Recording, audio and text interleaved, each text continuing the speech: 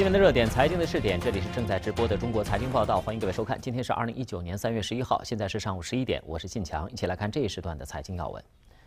在今天的十三届全国人大二次会议记者会上，科技部部长王志刚等相关人士就加快建设创新型国家回答了记者提问。怎么叫进入创新国家？可能我们要有一啊一个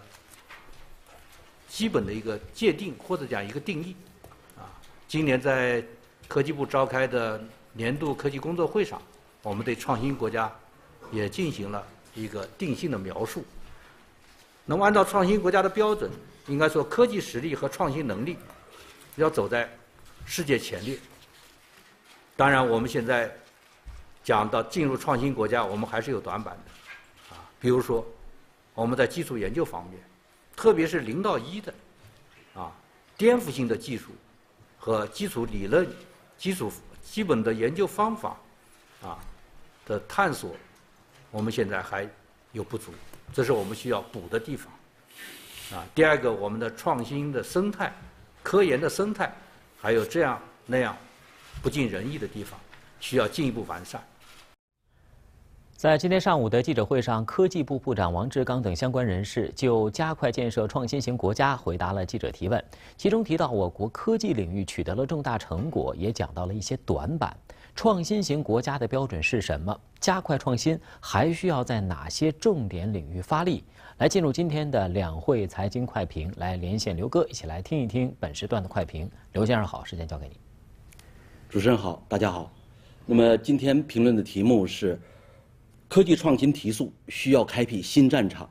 呃，我先给大家一个数字啊，这个数字呢是百分之十三点五，这个数字是表达的什么呢？就是说，如果要实现二零二零年我们成为创新型国家的这样的一个目标，在今后的两年时间里面，我们的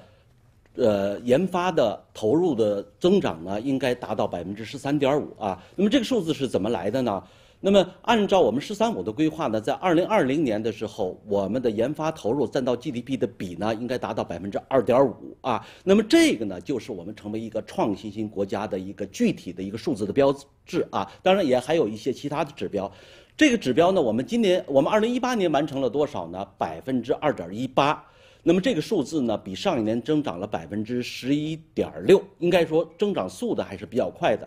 但是呢，我们要在二零二零年实现百分之二点五的这样的一个水平，那么意味着什么呢？还有零点三二个百分点需要增加。那么我计算了一下，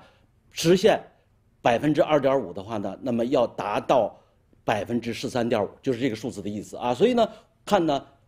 这个数字要实现呢，其实任务还是蛮难的啊。其实这个挑战也是非常大的。那么。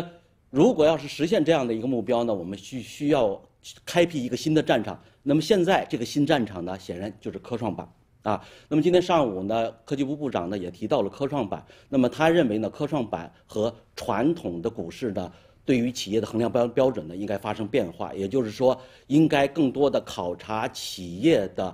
无形资产和它的创新能力，而不是说啊，像以往呢，我们对于生产型企业的话呢，更多的是考察它的啊，比如说固定资产啊，比如说它的这个呃盈利能力啊等等这样。但是对于一个创新型的一个正在发展当中起步阶段的一个科技型企业来说，那可能这就不是一个好的衡量标准啊。所以呢，我们要让科创板呢能够成为科技创新的新的战场，我觉得呢应该做到以下三点啊。第一个呢，要让社会资金成为科技创新的新燃料啊，那么以往呢，我们的科技创新的来源呢，更多是政府或者国有企业，但是现在呢，社会资金可以通过科创板这个轨道呢，进入到呃科技创新的领域里面，那么让更多的社会资金既承担一定的风险，同时呢又能分享。科技创新的红利啊，那么第二条呢，就是要让企业成为科技创新的真正主体啊。那么以往呢，更多的创新主体呢不是企业，但是现在呢，如果我们企业的话呢，能够在科研的过程当中拿到钱，而不仅仅是在科研成功以后才能卖到钱，那么缩短这个时间差。对于科技创新也非常的重要。第三条呢，就是要让市场成为科技创新的指挥棒。那么以前呢，我们更多的科技创新的目标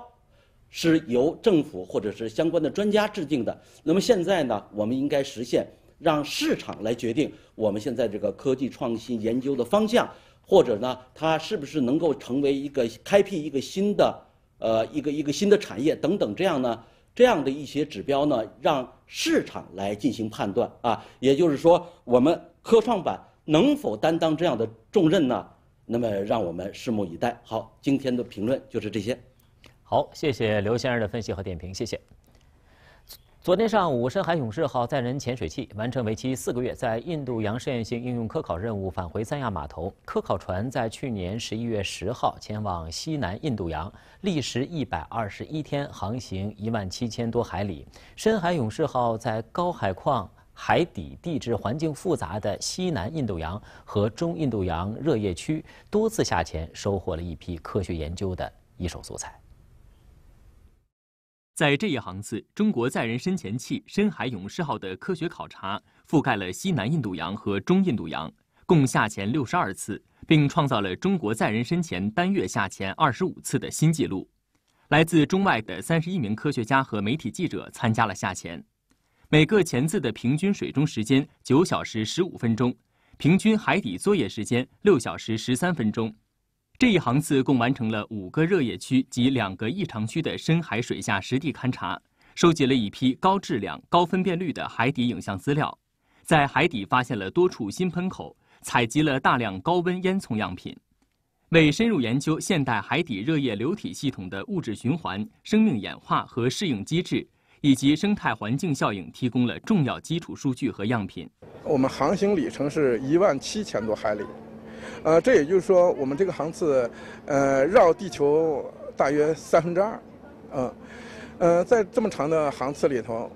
我们所遇到的挑战，呃，呃，不光是航程里程长，呃，最主要的是我们要和，呃，那。海况恶劣的西南印度洋的西南季风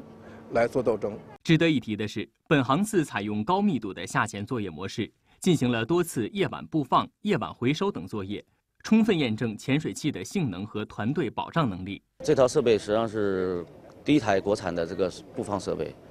那么，在这个西南印度洋这次的高频次的这种下潜，然后对我们的设备一种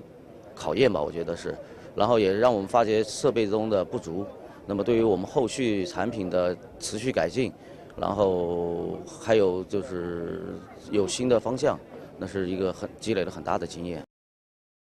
来自中国民用航空局官网的消息，二。二零一九年三月十号，埃塞俄比亚航空公司一架波音七三七杠八飞机发生坠机空难，这是继去年十月二十九号印尼失航空难事故之后，波音七三七杠八飞机发生的第二起空难。鉴于两起空难均为新交付不久的波音七三七杠八飞机，且均发生在起飞阶段，具有一定的相似性。本着对安全隐患零容忍、严控安全风险的管理原则，为确保中国民航飞行安全，三月十一号九点，民航局发出通知，要求国内运输航空公司在二零一九年三月十一号十八点前暂停波音七三七杠八飞机的商业运行。民航局将联系美国联邦航空局和波音公司，在确认具备有效保障飞行安全的有关措施以后，通知各运输航空公司恢复波音七三七杠八飞机的商业运行。另外，据路透社报道，十号晚间，波音公司表示将推迟原计划在美国当地时间十三号举行的首架七七七 X 宽体客机的亮相仪式。七七七 X 是波音七七七的最新改进版。波音公司方面说，将在不久的将来再寻找机会与大家一起庆祝这架新飞机的诞生。目前，公司将主要支持埃航空难的后续工作。当地时间的十号上午，一架埃塞俄比亚航空公司的客机在埃塞俄比亚境内坠毁，客机上一百四十九名乘客和八名机组人员全部遇难，其中包括八名中国乘客。中国驻埃塞俄比亚大使馆第一时间启动应急机制，与埃塞政府、埃塞航空取得联系，保持密切沟通，并做好后续工作。埃塞俄比亚航空公司当天发表声明说，失事的 ET 三零二航班客机机型为波音七三七。于当地时间八点三十八分从埃塞首都亚的斯亚贝巴起飞，计划飞往肯尼亚首都内罗毕。客机起飞后不久，于八点四十四分左右，在距首都约四十五公里的比绍夫图附近坠毁。二十四小时飞行雷达网的数据显示，客机起飞后曾经有突然下降的迹象，随后又有拉升，之后消失在雷达中。埃塞俄比亚总理阿比通过社交媒体表达了对遇难者家属的深切慰问。另据埃塞俄比亚航空公司官方社交账号发布的信息。公司首席执行官已抵达客机失事现场。当天下午，埃塞航空就事故最新情况举办了新闻发布会。公司介绍称，这些遇难者中包括三十二名肯尼亚人、十八名加拿大人、九名埃塞人、八名中国人和八名美国人等。目前，公司已分别在亚的斯亚贝巴和肯尼亚首都内罗毕两地设立了应急办事处，全力安抚遇难者家属。另据介绍，失事飞机机长名叫亚瑞德·毛利杰他，自2017年11月开始成为波音737的机长，是一名飞行8000小时以上的资深飞行员。自加入埃塞航空以来，保持着优秀的飞行记录。通过调取机场控制塔通话记录后发现，机长在起飞不久曾发现问题，也向地面申请返航并获得批准。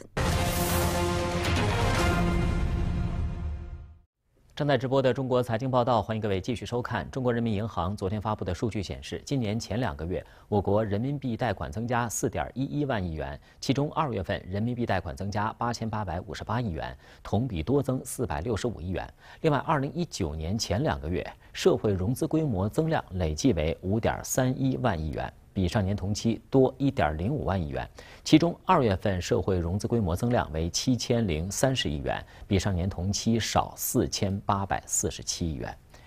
今年春季，贵州省以赏春赏花作为主题，推出了涵盖民族风情、红色文化、非遗体验等多项旅游主题，总共四十一条游玩线路，并将陆续举办三百多项文旅活动，以丰富旅游市场。从单纯的赏花游向度假、生态、户外等多形式旅游转变，贵州通过旅游转型升级取得了良好。